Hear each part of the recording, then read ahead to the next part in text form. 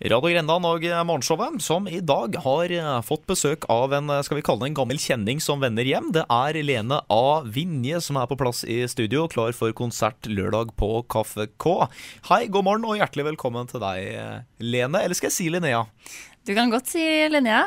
Men det er jo mer personlig med Lene, da. Ja, for Du heter Lene, men kaller deg for Linnea. Ja. Det er artistnavnet. Nå tar du med et band til Kaffe K på, på lørdagen, og du, du kommer hjem eh, Ja. for å spille musikk. Jeg gjør det. Jeg syns det er litt hyggelig å komme tilbake igjen der eh, det hele starta. Eh, Jeg er jo bamling og syns jo er jo veldig hjemmekjær, da. Så det er hyggelig å kunne holde koken litt her òg, selv om det skjer mye spennende i Oslo. Så er det jo liksom mange her som har lyst til å høre på musikken og setter pris på at jeg tar turen hit òg, da. Ja, og, og når det gjelder deg som musiker, så er det kanskje noen som husker deg fra, fra TV-skjermen for ikke så veldig lenge siden? Nei, det er ikke så lenge siden. Jeg var med på The Voice eh, høsten 2017. Eh, Kom på laget til Josef. Eh, Kom til duellrunda, da. Mm. Eh, Så det var veldig spennende. Siden det så har jeg jo flytta til Oslo og holder koken der, da. Ja. Hva slags type musikk er det du driver med? Jeg driver med pop, soul, funk. Jeg vil kanskje kategorisere det som en blanding av Jarle Bernhoft og Jackson 5, kanskje. Jeg vet ikke helt hvordan jeg skal forklare det, men det det er jo litt sånn good feel-musikk, da. Ja, ja, ja. Eh, Men så er det liksom ikke sånn Det er ikke veldig mainstream. Samtidig så har jeg liksom putta en litt sånn pop-hooks inni der, da. Sånn, eh, sånn refreng som forhåpentligvis setter seg på hjernen. Ja, riktig. Nå skal vi ganske snart få høre en av de låtene som kanskje eller kanskje ikke setter seg på Ja, hjernen. det vil fremtiden vise. Eh, Det er Lenea Linnea eller Lene A. Vinje som er i studio. Du kan begynne å gjøre deg klar, og så har du med deg på tangenter eh, sittende bak deg. Det er eh, Bjørn Aarseth som er klar for å, å stemme i.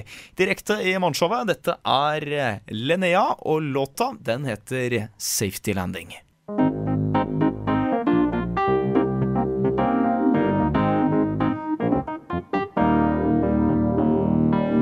Every step I think I lose my mind. I always think that I've felt this state. I changed the way I'm thinking. Is it so bad after all? I one, two, three, one, two, three, throw the baggage. Hold on to the one you want to be. Positivity is the answers to all your worries that has poisoned your mind. Every step I think I need to work hard. Working gets a part of who I am. See myself from the outside. Beauty already been found. One, two, three, one, two, three, throw the baggage. Hold on to the Positivity is the answer to all your worries that has poisoned your mind.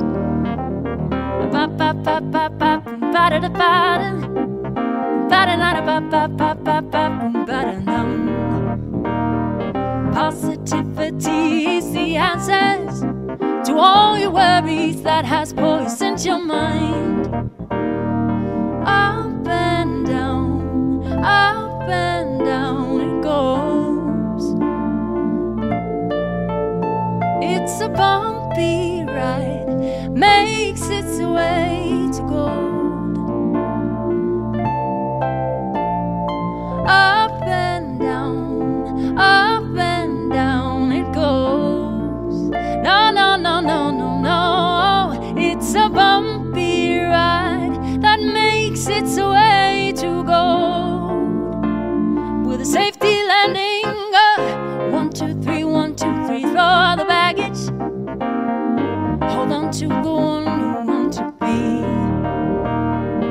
Positivity is the answers to all your worries that has poisoned your mind.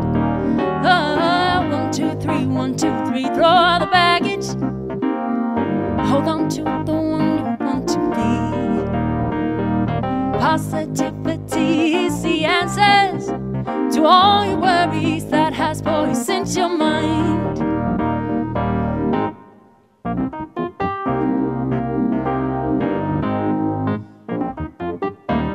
Ja, det var livemusikk i morgenshowet på Radio Grenland. Lenia, eller Lene A. Vinje fra Bamble, som har kommet hjem og er klar for konsert på Kaffe K. Jeg ser jo du showet er bra, Ja.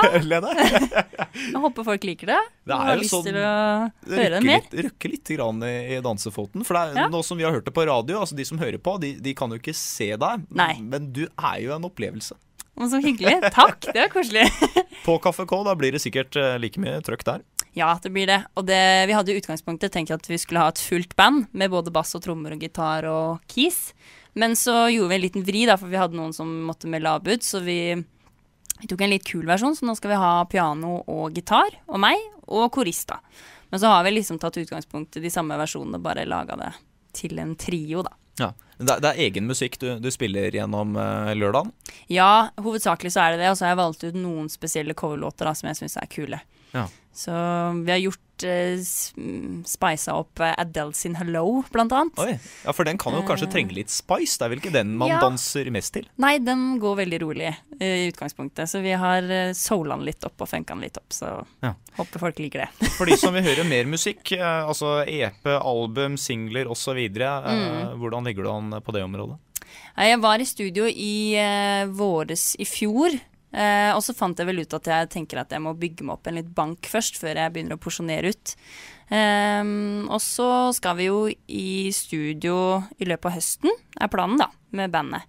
Så da er det ikke noe musikk ute akkurat nå, men det ligger mye liveklipp på Facebook og Instagram og YouTube. Så hvis folk vil sjekke ut der, så er det det er det som er foreløpig, da. Kaffe K lørdag, da er eh, det er neste stopp for eh, Linnea. Eh, Billetter, den type ting, det er døra som gjelder, eller? Ja, de kan kjøpe i døra, og så kan de kjøpe på Ticketmaster. Da er det egentlig bare å søke på Linnea Kaffe K på Google, og så klikker du deg inn, og så finner du billetter der. Ja. Så er det mm, Ja, så henger det litt plakater rundt omkring i Porsgrunn nå, da, så kan dere se hvis dere lurer på noe mer, da. Nå gleder vi oss til å se deg på scenen, og ikke minst til å høre deg, Linnea eller Lena av Vinje, på besøk på Radio Grenland i dag. Ønsker deg en, eh, en riktig så fin dag videre, og god helg. Takk i like måte.